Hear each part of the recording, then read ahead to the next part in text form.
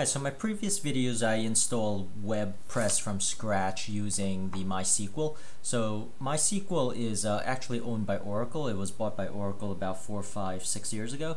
So there's actually a fork to the MySQL code. And the MySQL code is now maintained the, by the original developers uh, under MariaDB. So I'm going to go ahead and uh, install WordPress on MariaDB, which is basically a drop-in and uh, the compatibility between MariaDB and MySQL is seamless.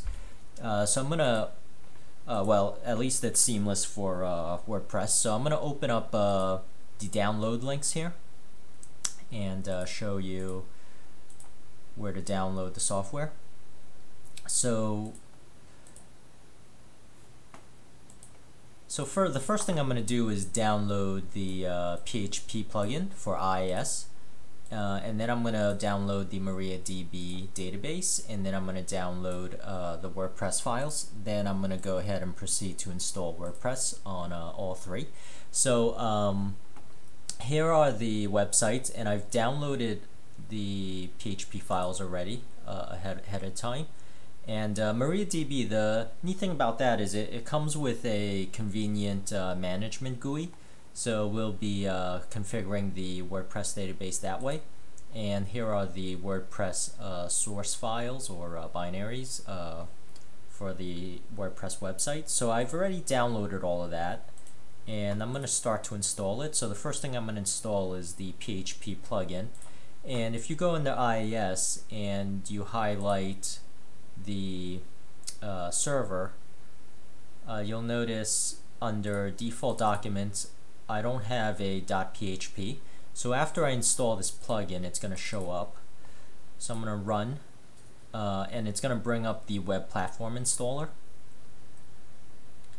And it's going to install the PHP 5.3, I believe. Yeah, 5.3.24 that way. And I'm going to hit accept here. And as that installs, I am going to also install MariaDB here. So I'm going to kick off the installation of MariaDB.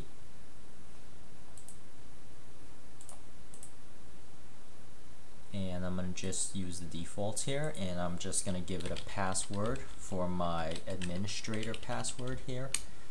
Uh, something simple, password 123, uh, enable access from remote machines and I want the default to be UTF-8 which will support a, a, set of international characters.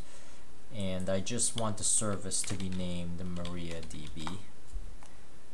And it's going to run on the same MySQL port. And you'll notice in the background the PHP 5 has been done installing so I'm going to click finish Okay, so it's done installing and I'm going to click finish here.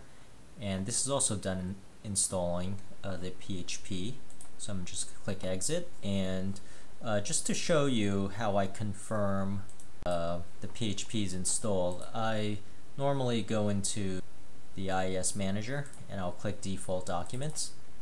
And you'll notice here uh, it actually put in the entry for the default PHP so I at least know uh, for the most part, it, it was installed or it uh, attempted an install. We'll see whether it installed successfully, uh, but it's a good chance that since it's there, it has. Um, so that's a quick way of verifying that. Um, so now I am going to configure the database, and I'm going to do something simple here.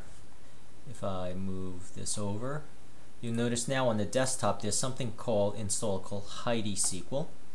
I'm going to double click that to bring up the management console of um, the MariaDB. So this is the management console. I'm just going to click new here and I'm going to log in as the administrator. So the default administrator is called root and the password I gave it was password 123 and I'm going to open this up and uh, right away I could manage my databases. So the first thing I'm going to do is uh, right click the top node here and say create new database. I'm going to call it toys DB. Click OK. and I'm going to add a user now and the user I am going to add is toysdb admin and give it a password uh, password 123 password 123 and here I have to add I, I don't want to give the permissions here to the global instance meaning to the entire MariaDB I really just uh, want to give it to uh, one of my databases. So I'm gonna click add object add object here. I'm gonna select my database and I'm gonna check everything because this is gonna be the super user of my database. And I am gonna click save and you'll notice uh, here it can log in via the local host meaning the database has to be on the same machine that the uh, web server's on. If that's not the case, I'll have to create another instance and put the uh, wildcard here, which is uh, this this uh, percent sign. So now my database and user is set up for the database uh, that I'm going to use for my WordPress. I'm going to go to the WordPress files that I downloaded here, extract them, and because I'm going to put my website in a standard location for all my uh, WordPress files, I'm going to copy all the WordPress files here, go open up another Windows Explorer, I'm going to go to root and I'm going to name a folder called WordPress root. I'm going to paste my files here. I'm to rename this to Toys Website. And just to double check, if I double click on it, these are where the files are. And now I, I have to configure the configuration file. So I'm going to, this is the WP WordPress config sample. I'm going to copy that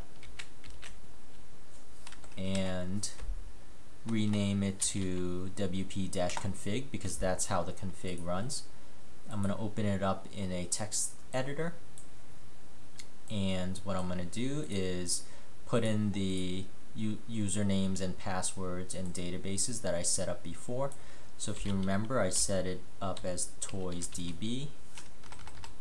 The user that I was using was toysdb admin which is the login for the database user and I put in password 123 and my server's localhost, which is the uh, local server uh, that I have. And normally you would change each one of these tokens here.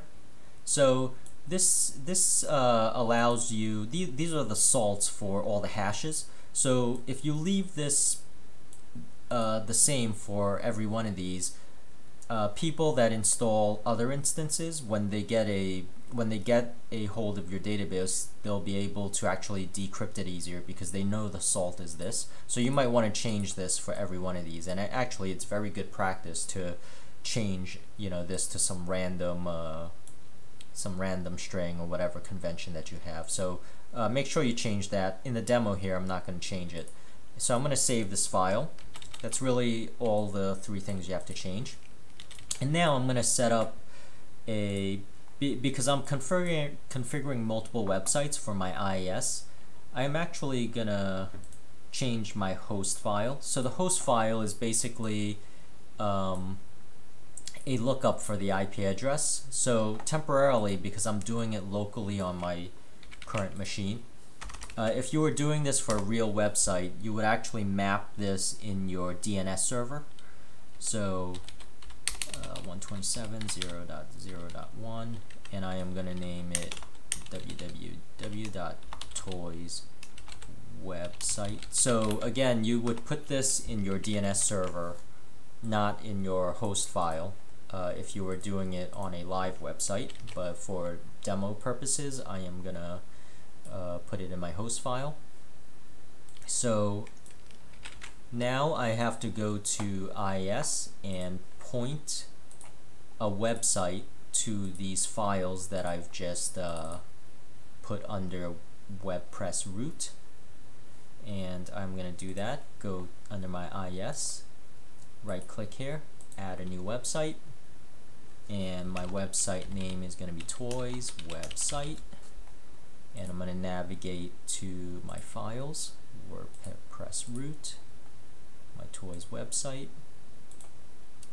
And this is a host header so if if I am uh, hosting multiple websites under IIS uh, for for most cases the most common way to do that is to use uh, what's called host headers so if a person typing this in their browser this will pass it over to the IIS web server and it would route it to the right website uh, based on this host header uh, if that IIS server is serving up multiple websites. So that's what this is for. Um, so I'm going to click OK here. And now I'm going to bring it up in a browser. And we'll see that it brings up the default uh, for me to configure it. I'm going to just click uh, English, click OK. So now I am configuring my WordPress site and I am just going to call it toys admin and again just a simple password and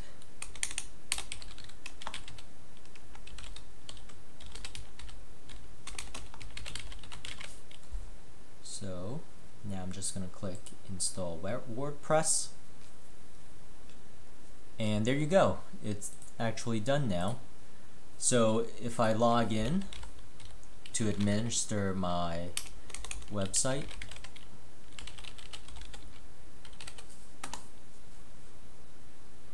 you'll see now I could administer my website here and if I go to the root which is where uh, most most visitors would see the website. So I, I don't have a skin here, so it's very bare bones. But um, so that's it. That's really how you install the WordPress uh, on MariaDB, and um, it's really a lot simpler than uh, installing it via the uh, MySQL uh, that Oracle has. So, all right, uh, thank you for watching, and I hope that helps, and uh, enjoy.